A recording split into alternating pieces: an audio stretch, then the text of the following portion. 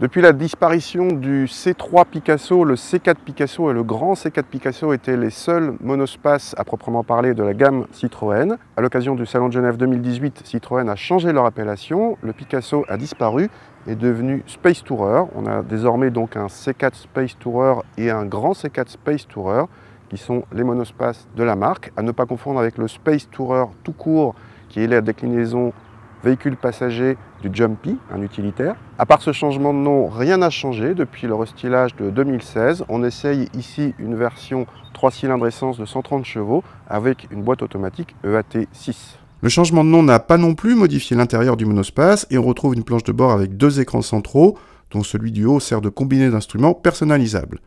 Celui du dessous commande les fonctions habituelles multimédia et aide à la conduite, mais manque de réactivité. La qualité de présentation est plutôt flatteuse pour la catégorie, meilleure que celle d'un C-Max par exemple, mais un petit ton en dessous d'un Touran. À l'arrière, contrairement au Scénic qui reçoit une banquette coulissante, le Space Tourer a eu la bonne idée de garder ses trois sièges individuels coulissants et escamotables, sans oublier les rangements et tablettes aviation. L'habitabilité vaut celle du Scénic, mais reste légèrement en dessous de la moyenne du segment. Le coffre est en revanche l'un des plus grands du genre, avec presque 600 décimètres cubes mesurés. Je vous le disais au début, en changeant de nom, Citroën n'a rien changé techniquement sur la voiture. Donc on retrouve ce C4 Picasso dont la vertu principale est le confort.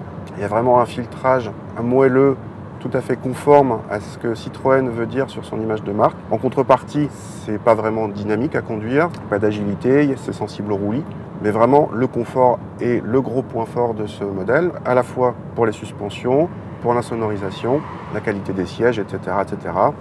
Côté moteur, ce 130 chevaux qui existe déjà par ailleurs dans le groupe est toujours ici très agréable. Il est suffisant, bien accordé avec la boîte EAT6 qui fait quelques à de temps en temps, mais c'est vraiment très rare. Mais globalement, ça aussi, ça participe au confort. Il y a une bonne douceur d'utilisation. Bref, ce C4 Picasso avec cette motorisation est très cohérent. Bonne nouvelle du côté des consommations, avec le plus faible appétit de la catégorie selon nos mesures, et d'assez loin s'il vous plaît.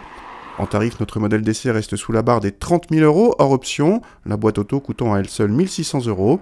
À motorisation et équipement équivalent, le C4 Space Tourer est plus cher que le C-Max, mais moins que le Scénic et bien plus abordable qu'un Tourano.